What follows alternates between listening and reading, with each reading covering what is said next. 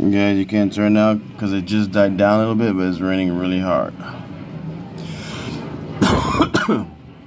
it's raining really hard over here today in uh, Miami. And it's going to be raining like this, I think, all day, so that's uh, not good. Um,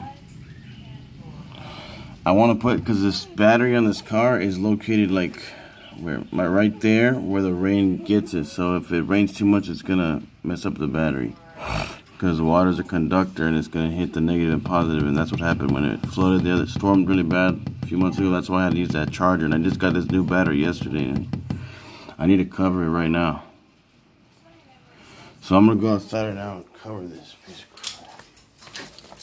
it's not raining. Do you want me to go get the pizza? Because you're not going to be able to eat anything for the rest of the day. You want me to go get the pizza?